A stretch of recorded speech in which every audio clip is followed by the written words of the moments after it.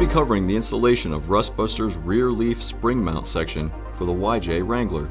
Before you begin, if at any point you are uncomfortable with any of the processes, we strongly suggest you seek out the work of a professional. Ensure you have all the required tools listed and ensure you follow all the manufacturer's safety precautions and operations while using them. Step 1. Disconnect your vehicle's battery and inspect for potential fire hazards, such as leaking fuel lines and engine components. Repair or remove these before starting and remove any fire hazards from the work area. Step 2. Lift your vehicle and support its rear axle with jack stands for driver and passenger sides. Remove the wheel. Remove your gas tank and its components and plug all remaining tubes to reduce fume leakage. Place the tank safely outside your work area. Step 3. Using a 21mm and 7 8 socket, remove the spring mount bolt and push the leaf spring down and out of the way. Using a 16mm socket, remove the body mount bolt from the bushing. Remove the old bushing and casing from the leaf spring. We recommend using an air hammer or hammer and chisel as it may be rusted and fused.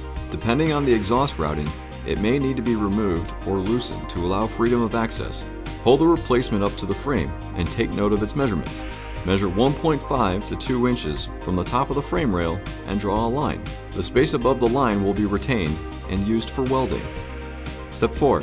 Begin cutting away and removing the section while following the drawn lines.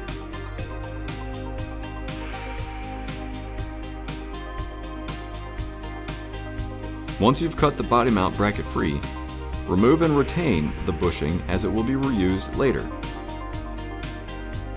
Step 5. Attempt to push the part into place and over the frame. The part may fit snugly and require force. Ensure the frame rail is flush and the body mount bushing hole lines up with the body. Install a new leaf spring bushing according to the manufacturer's instructions at this time. Step 6.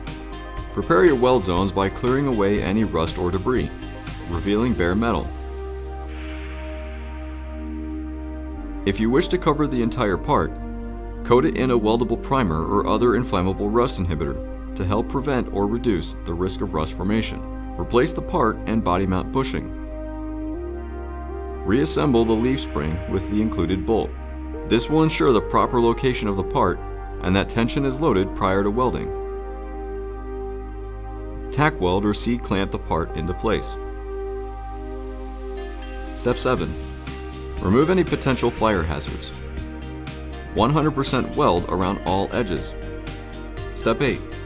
If you chose not to in Step 6, coat the work area and part with a primer or other rust inhibitor to help prevent or reduce the risk of rust formation. Step 9. Reinstall your gas tank, cords, and tubes.